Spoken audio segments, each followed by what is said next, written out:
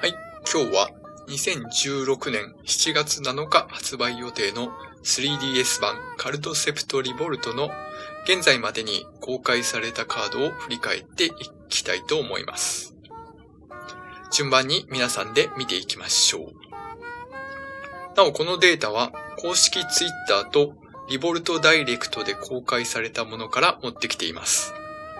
発売前なのでデータが変わる可能性もあるのでご注意ください。PV などで一瞬チラッと映っただけのものは除外しています。スタートダッシュ版もプレイしているのですが、そちらのカードは N カードばかりなので、目新しいものがなく取り上げておりません。では、行きましょう。まずは無属性から。アイアンモンガー。10G、20、30。非術、50G、使用者はアイテムカードを1枚引く。今までにない面白いカードですね。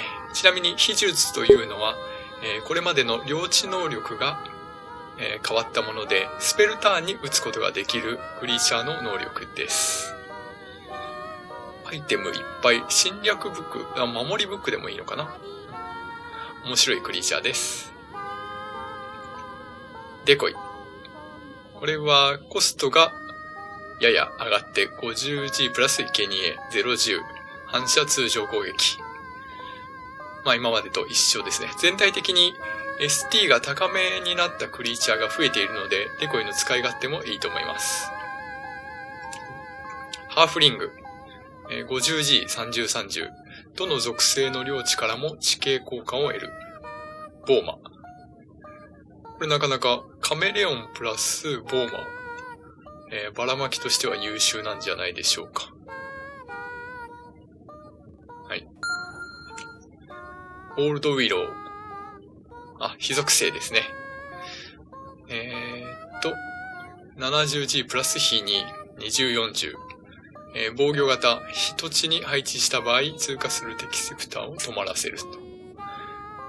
えーと、アイテム制限に、防具しか使えなくなったんですね。はい。道具が使えなくなりました。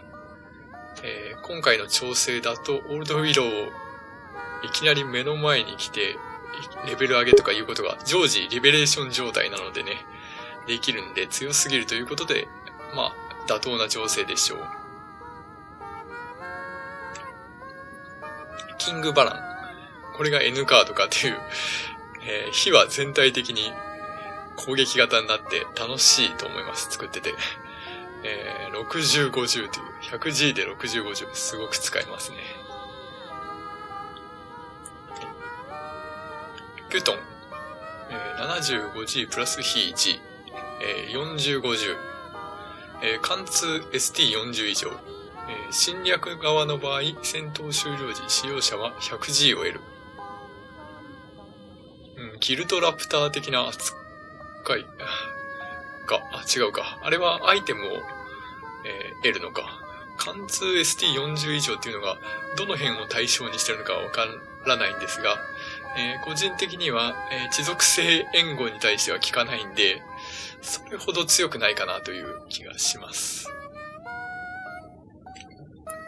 こっちの方が強いですからね。ファイヤービーク。い。95G プラス非1。50、40。先制、貫通水風、強打水風。めちゃくちゃですね。はい。非にあってもいいと思うし、えコスト 100G 以上でレイオブローの対象になってもいいと思う。まあ、レイオブローがあるかどうかはまだわからないんですけど。はい。めちゃくちゃ強いです。水と風に対しては地形効果を無視して 75G 先制のダメージ。えーほぼすべて殺すことになりますね。えー水は無効化がいっぱいあるので、まあなんとかなるんですが、風は、えーこれ生き残れるのはガルーダとスプライトぐらいしかいないんじゃないかと思います。まあガルーダとスプライトがあるかどうかはまだわかんないんですけれども。はい。まあ誰かが言ってたんですが、えーっと、イエティ、ダンピールに変わる即死クリに近いだろっていう感じがして、確かにその通りだなっていう気がします。水風に対するイエティダンピポジションじゃないかな、みたいな感じですね。はい。ミノタウロス。え、70G から 60G に 10G 安くなったんだけど、全体的にコストは下がり気味な傾向なので、リボルトでは。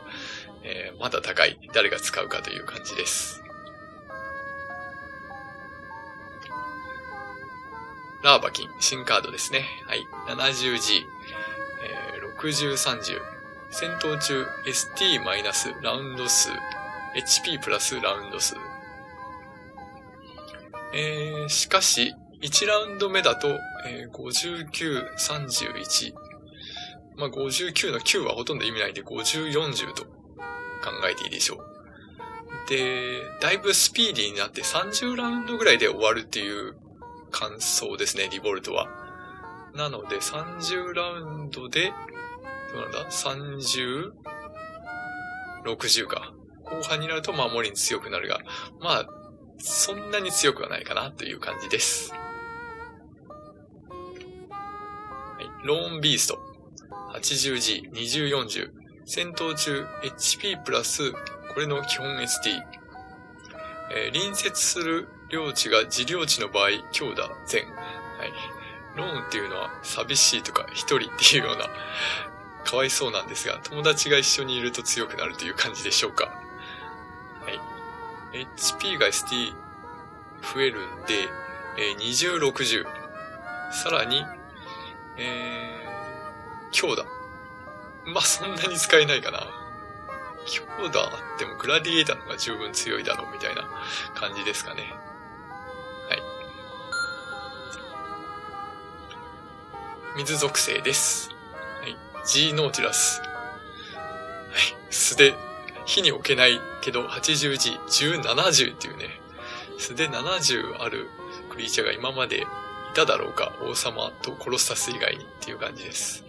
まあ、仮置きとしてすごく優秀で、いくらでも守ってくれるでしょうという気がします。アプサラス。なんと 40G に安くなった。水1個取ればもう無敵。めちゃくちゃ強い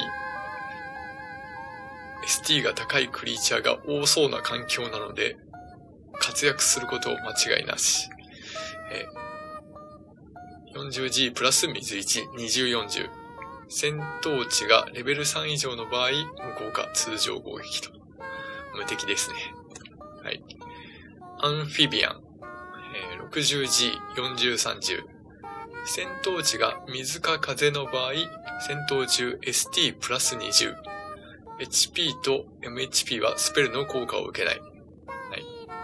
えー、同色水ブックで水の土地を取りたいなんて時には使えるのか、60、30になるというわけですね。こういう風になんか条件付きで ST、HP が増えるみたいなのが多くて、ちょっと覚えるのが大変かもしれません。乙姫、かわいいクリチャ出ました。はい。70G プラス水1。40、40。応援、防御側 HP プラス10。えっと、サーガの、何でしたっけ？水のポセイドンみたいな。ポセイドンは HP プラス20だったかな。それと、あとは、自分だけ HP プラス10っていう応援のやつがあったんですが、それよりも使い勝手は良さそうですね。はい。それと、戦闘終了時、対戦、えー、戦闘相手に呪い効果、戦闘後破壊をつける。はい。シニリティをつけるということですね。えー、ガンジーと一緒の能力も持っていると。使い勝手いいんじゃないでしょうか。カイザーペンギン、アンチ、チ、クリーチャーカード出ました。はい。90G、3050。戦闘開始時、戦闘相手の使用した道具か巻物か援護クリーチャーを破壊する。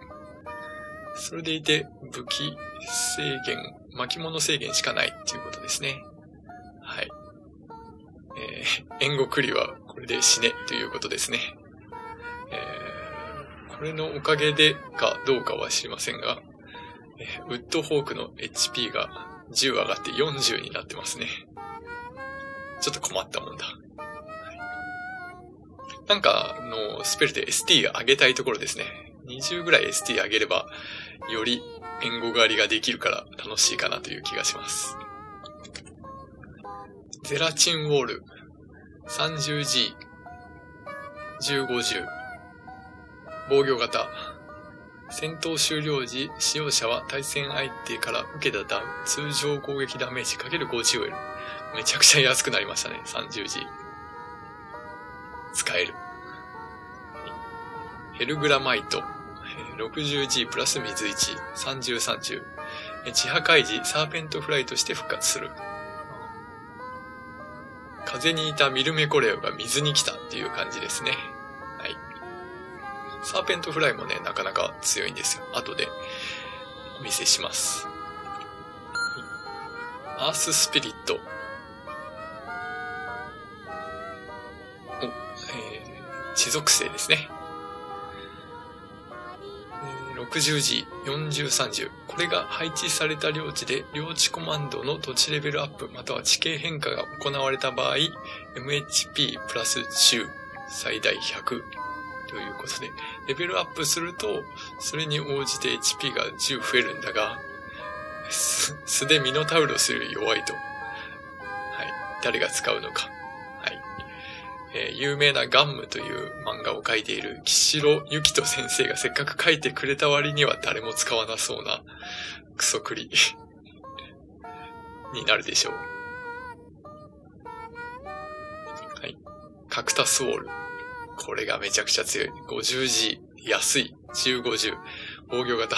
戦闘相手が水か風の場合、戦闘中 HP プラス50って10、10、100じゃねえかよ。しかも再生付き。削られても回復する。はい。この再生は水か風の場合には限ってないから、えー、地下、火が攻めてきた後でも、えー、HP が残れば再生すると。まあこれもばらまき栗として最強。はい。やっぱ血は強いなという感じです。グレートダスカー 80G ST6050 地にこんな ST のやつを持ってきていいのか。はい。無効化。先制能力を持つクリーチャー。なにーって感じですね。先制能力を持つクリーチャーのところに攻めるのが得意ということですね。バルキリーとかちょっと生き残るのが苦しくなるかもしれない。なぜこれを地に持ってきたという感じですよね。はい。えー、っと、ちょっと勘違いしそうなのが、先制を無効化するわけじゃないので、アワーグラス効果ではないんですよね。先制のクリーチャーの攻撃を、通常攻撃を無効化するというところをちょっと勘違いしないようにしないといけないと。まあ、強いです。はい。援護の餌としてもいい。スクワリン、えー、50G。ちょっと援護は、えー、コストが上がっているように見えます。強すぎたという声が開発に届いたのでしょうか。はい。えー、二重三中、援護全。はい。援護、カッコ全っていうのが今までついてなかったんで、もしかすると、グリマルキン、ジャッカロープあたりは、援護、カッコ地とか、援護、カッコ ST、HP30 以下とか、そういう制限が加わる可能性がありますね。期待しております。タイガーウェダ。60G、340。隣接する領地が自領地の場合、戦闘中 ST&HP プラス20。はい。50、60になるという。はい。攻めでも守りでもいいけど、さすが地属性、友達が多いと強くなるという。ローンビーストよりも、なんか、優遇されている気がする。ただの虫のくせに。ダスクドウェラー。これはイラストがかっこいいですね。吸血鬼忍者みたいな感じです。70G プラス値1、40、40。先制、敵破壊時 ST&MHP プラス10、最大100。ということは、東鉄に先制がついたみたいなもんですね。非常に強そうです。ドワーフマイナー。70G プラス値1、30、50。配置した領地の通行量は1.5倍になる。これノームと一緒ですね。で、秘術で使用者は周回数 ×30G を得る。これバロメッツでしょ。バロメッツノームが合体してドワーフマイナーになった。ちょっと地1っていうコストが少し重いかなという気がします。それに秘術は、えー、連発できないんでね、1周回に1回くらいしか打てないんで、そんなに連打できるというわけでもないので、難しいかもしれない。ロックトロル 90G、5050再生。トロル4040再生よりも10々増えて強くなった。なぜこれを地に持ってきたみたいな感じの、めちゃくちゃ強い。はい。しかも N カードかよ、たいな感じですね。さあ、風行きましょう。イラストが素晴らしいですね。エルフアーチャー。その名の通り、エルフとアーチャーが合体したという、こういうカードがなんか、リボルトには多い気がします。70G プラス風1、4040先生。秘術、えー、20G で対象的クリーチャーの HP-10。これ完全デコイ対策カードですね。はい。サーペントフライ。あ先ほどの何だったかが死んだ時に出てくるっていうクリーチャーです。ヘルグラマイとか。はい。70G、40、30。火に入れない。はい。先生、水領地からも地形効果を得る。まあ、風に置いてもいいし、水に置いてもいいと。まあでも素で使うことはなかなかないだろうかな、っていう感じですね。はい。サンダースポーン。はい。え、50G プラス風1、30、40。戦闘中 ST プラス水の治療値の数かける10。これなぜ水なのかという、風ブック組みたいのに水なのかみたいな感じですね。はい。で、離れた配置クリーチャーと属性の違う敵領地にも移動できる。ということで、えー、天狗的な能力ですね。天狗的な能力なんだけど、ばらまいて、属性が合っていないという敵領地にいきなり攻撃しに行くことができるということですね。ST30 っていうのが弱いし、天狗のエッセン性もない。で、風コスト1っていうのも重い。ちょっと辛い気がします。まあ、コンボとしては、えー、クインテッセンス打ち込みからのいきなり攻撃っていうことができるだろうけどっていう感じですね。はい。ナイトメア。40G プラス風1、30、30、貫通、全。はい。これ、ファイヤービークと比べると、霞むんで、しかも風1が重い。はい。誰も使わないでしょう。ハイドビハインド。あこれ風と間違えちゃいましたね。無無属性クリーチャーでしたね。はい。40G、30、40。秘術、40時、えー、対象時クリーチャーに、えー、呪い地形効果をつける。つまり、カモフラージュ効果をつけてくれる。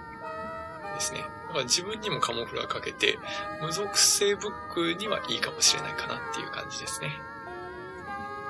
はい。ブリーズスピリット。50G、20、30。はい。火に入れない。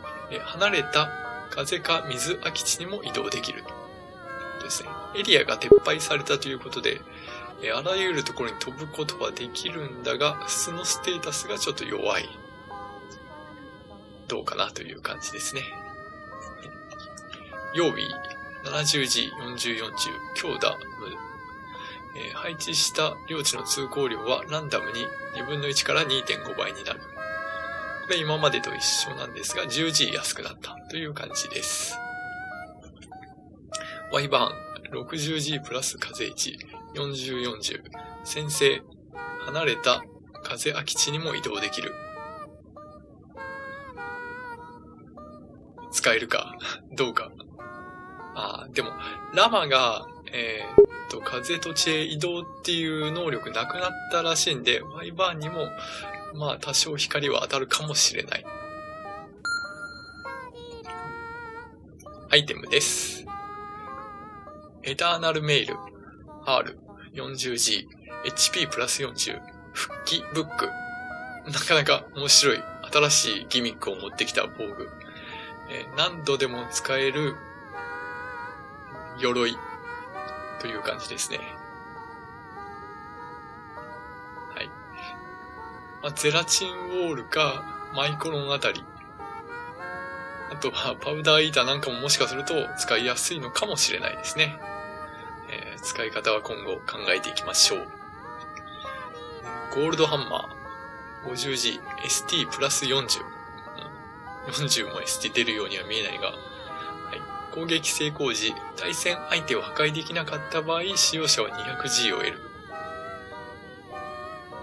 なかなかいいね。はい。なんか、攻撃、あ、あれ？攻撃成功時、相手を倒せなかった場合 100G を得るっていうクリーチャーがいたような気がするんで、それと組み合わせると結構なお金が入るかもしれません。破壊できなかった場合だけですね。破壊できた時でもお金入ってもいいと思うんだけどね。はい。シャドウブレイズ。巻物攻撃 ST イコール40。戦闘相手と同じクリーチャーが他に配置されている場合、巻物強打全。の巻物自体に強打能力がついていると。はい。えー、と、強くて流行っている流行のクリーチャーをみんな使うと、それがたくさん配置されているだろうと。で、それが配置されているときは ST60 の巻物攻撃に常になると。まあ、可能性は見出せる巻物ではあるという感じですね。スクイードマントル。はい。HP プラス40。戦闘相手の攻撃成功時能力を無効にする。これ、主に即死無効に使えるでしょう。はい。昔の DS 版のエルブンクロークなんかに近い気がする。あとは、コカトリスの変身効果も無効にすると。はい。で、HP も増えると、割とみんなが使うのになるんじゃないかなと思います。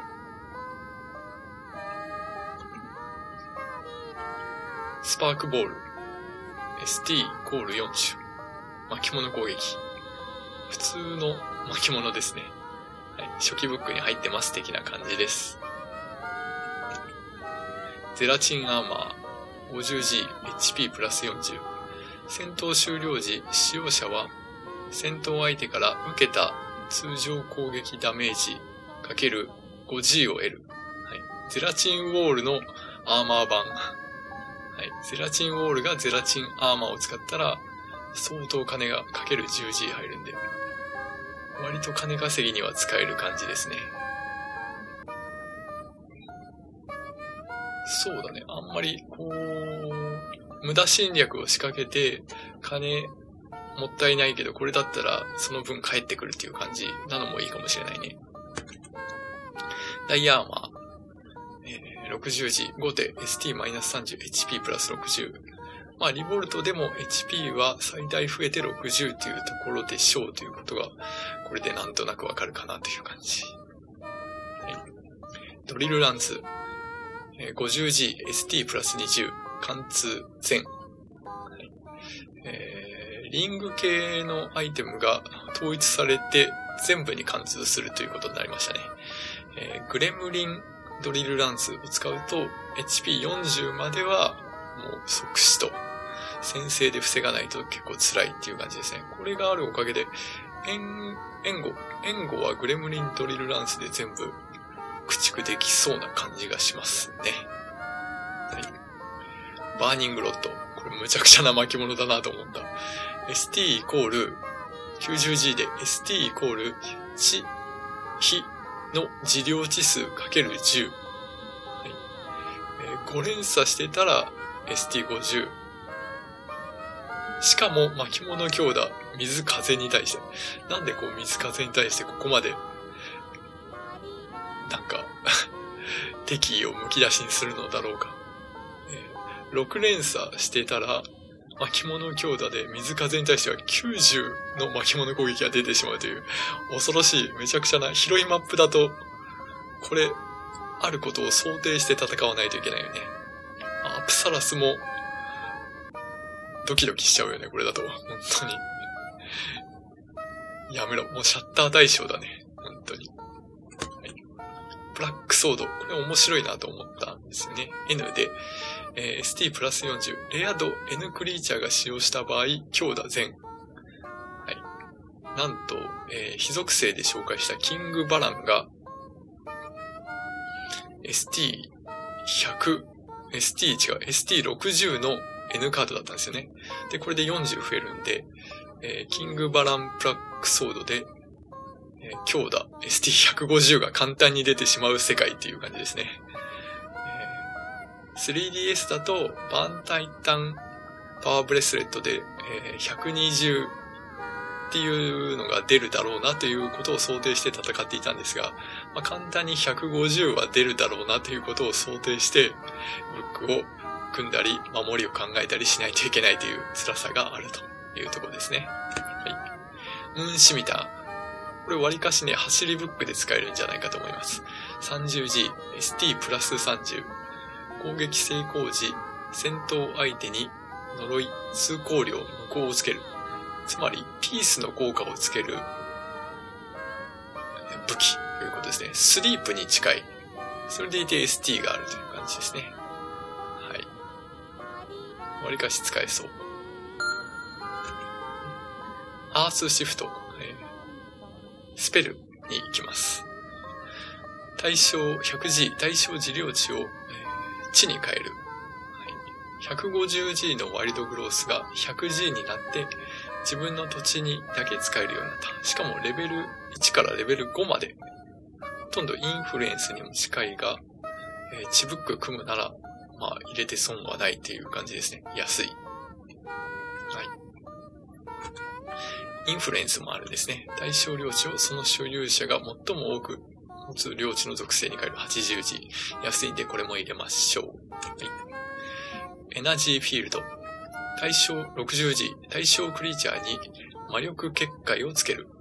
無効化、通常攻撃の能力を得て、戦闘終了時に対象クリーチャーの使用相手セプターに 100G を奪われる。はい。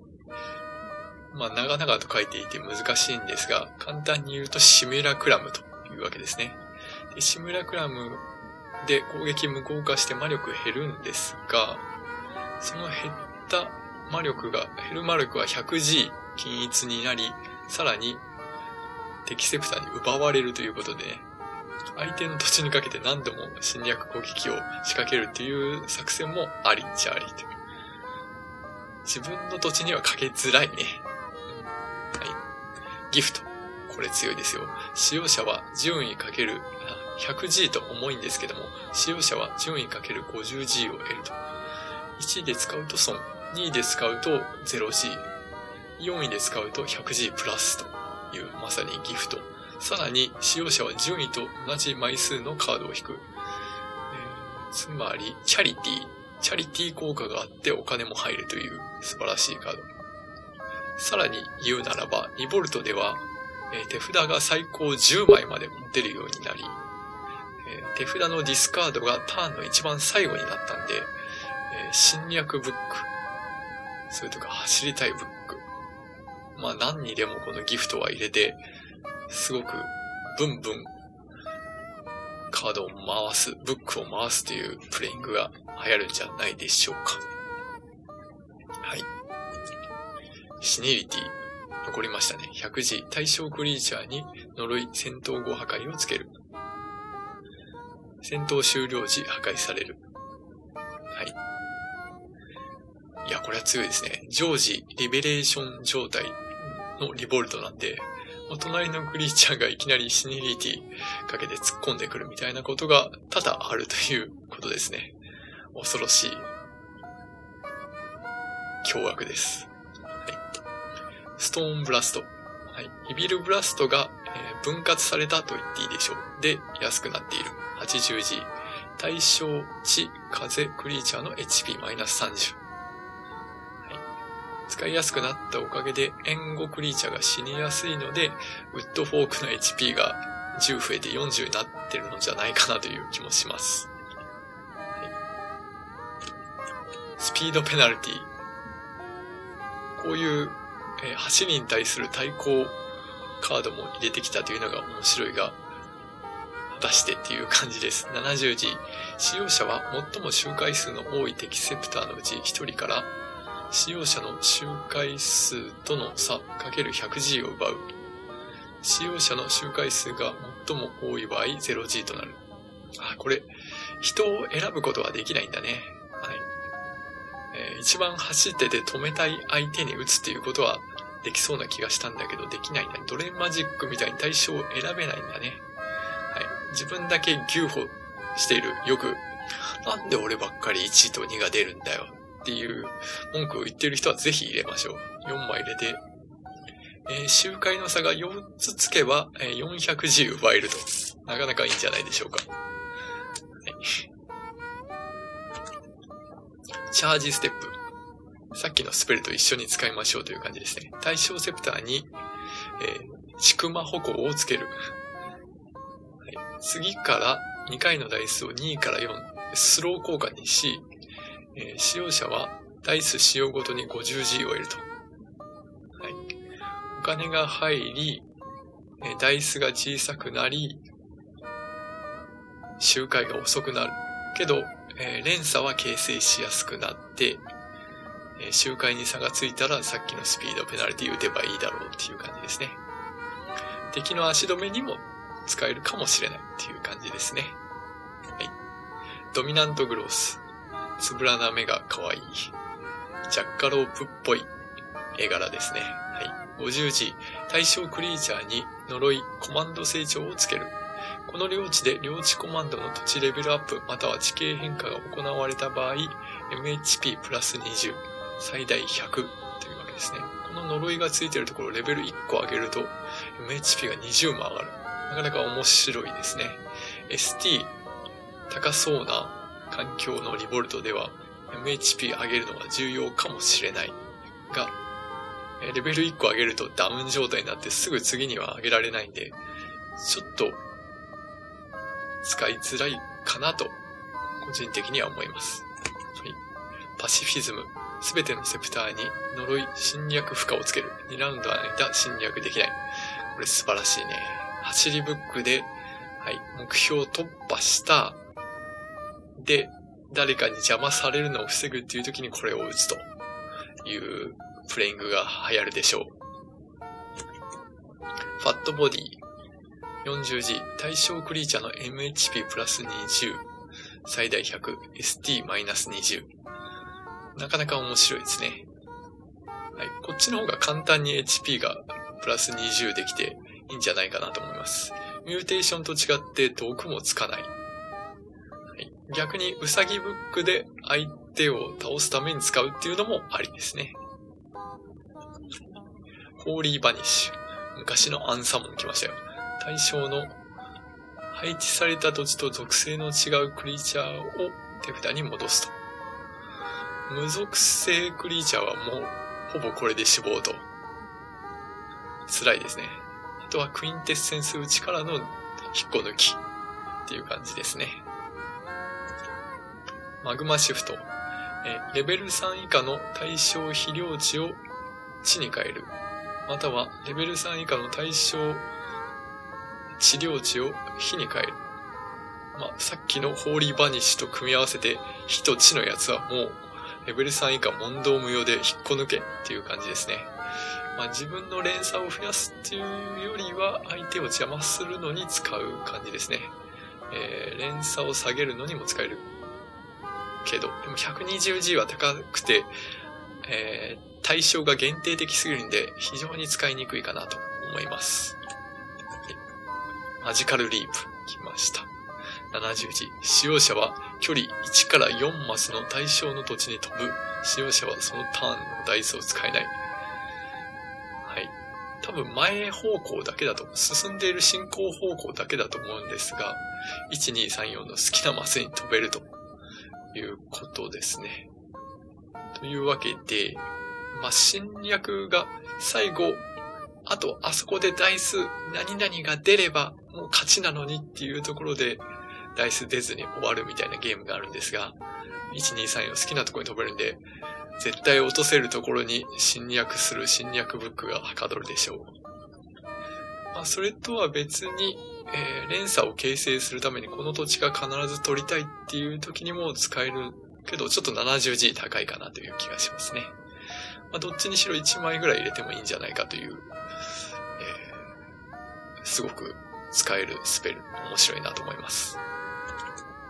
マジックシェルター。70時、対象クリーチャーに防魔壁をつける。スペルの対象として選べず防御型と扱われる。はい。ランドプロテクトが防御型になった。で、えー、ターンウォールの効果としても使えるし、相手の横移動を防ぐという意味でも使えるし、まあ、自分を守るのにも使える。だが防御型になるのは、ちょっと不安があるっていう感じですね。防御型だとバタリングラムで100%即死っていうアイテムがあるんで、そこをどう防げるか。そのデメリットとメリットをどうバランス取るかというところで面白いスペルカードになったと思います。ランプロ一強だったような気もするんでね。はい。リストは対象クリーチャーのダウンを解除する。HP を全回復する。これ結構ね、見た感じそうでもないんだけど、スタートダッシュ版をやった感じだと使えます。かなりのクリーチャーがね、置いたばっかりとか、なんかしたばっかりだとダウン状態で何もできないんですけど、これだと、いきなり目の前レベル上げとか、移動攻撃とかしてこないなと思ってるやつが来たりするから、面白い。使いやすいと思います。リミッション。使用者は対象ゲートを通過したことになる。周回完了になるゲートを除く。100時、昔のパーミッションで城がなくなったんで代わりにゲートを通ったことになるという感じですね。大体のマップで、えー、ゲートは3つぐらいあると思うんで、ゲート1個回ったところで、3つ目のところをリミッションすれば、次のところで周回ボーナスということで、4枚入れると相当周回が高速化できるかと思います。マナとの相性もいいでしょう。マップによりますが。はい、リリース。これが一番面白そうだという、いい、えー、カード考えてくれたな、スペルを考えてくれたなという感じ。リボルトっぽい。